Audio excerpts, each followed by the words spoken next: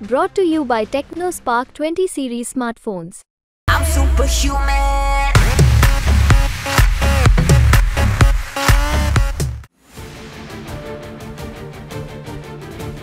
हिसार लोकसभा से उम्मीदवार और अपनी माँ नैना चौटाला के प्रचार के लिए जुटे पूर्व सीएम दुष्यंत चौटाला ने बीते रोज हिसार शहर की सबसे पुरानी राजगुरु मार्केट में डोर टू डोर घूमकर वोटों की अपील की इस मौके पर दुष्यंत चौटाला ने मार्केट में मौजूद दुकानदारों से वन टू वन बात भी की और एक जगह पर वो गर्मी के प्रकोप से बचने के लिए गन्ने का जूस भी पीते नज़र आए।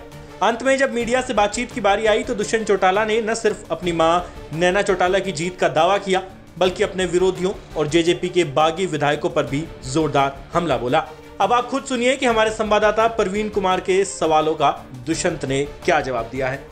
चार लोकसभा क्षेत्र के अंदर जनसंपर्क अभियान हिसार की सबसे पुरानी राजगुरु मार्केट न्यू बिश्नोई मंदिर मार्केट, और इस सारे इलाके का डोर टू डोर कर कर लोगों का जन समर्थन हम ले रहे हैं। और जिस तरह का जोश दिख रहा है, मैं मानता हूँ एक इतिहास हिसार लिखेगा कि पहली महिला सांसद को तौर पर श्रीमती नैना चौटाला जी को ऐतिहासिक वोटों से जिताने का काम करें। और जो अपार जन समर्थन मिला है उसने अपने आप परिस्थितियों को बहुत फेवर में किया। और मैं मानता हूँ जो वोट मेरे को मिले थे उससे ज़्यादा वोटों के साथ श्रीमती नैना चौटाला जी को हिसार जीता।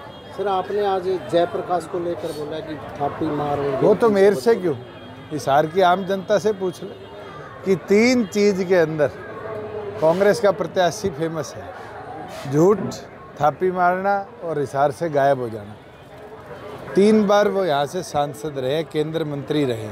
मैं तो आपसे पूछता हूँ आप पत्रकार हो तीन काम गिनवा दो जो इशार के लिए उनने कर कर देने का काम किया है। जनता ये सारी चीज़ें देखती है जागरूक जनता है और जागरूकता के साथ जनता वोट की चोट से जवाब आपकी पार्टी के एमएलए सर राम कुमार गौतम ने आज इशारे इशारों में बीजेपी के समर्थन इशारा ही किया है बोला तो नहीं। बोलते तो हम कार्रवाई भी करते। वो कह रहे हैं कि कई बार हमने कहा कि कार्रवाई करो मेरे ऊपर मैंने तो उनने कुछ ऐसा पार्टी विरोधी गतिविधि के अंदर जो नोटिस गए उसका जवाब दे दे वो और पार्टी छोड़ दे। देवेंद्र बबली जी ने भी कांग्रेस को उनको ऑलरेडी नोटिस दे चुके हैं और पहले दो की हमने स्पीकर से कार्रवाई की मांग करी है। जल्दी उनके विरुद्ध भी कार्रवाई की मांग करें। कांग्रेस हाथ बदलेगा हाथ बदलेगा हालात लेकर आए हैं क्या कहना चाहेंगे? हाथ बदल दे वो तो हालात बदल जाएँगे। आप खुद ही कह रहे हैं कांग्रेस हाथ बदलेगा हालात बदलेगा। तो कांग्रेस के हाथ बदल दो।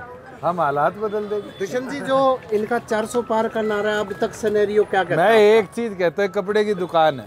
हाँ और ये शर्ट का रेट 400 लगाएँगे।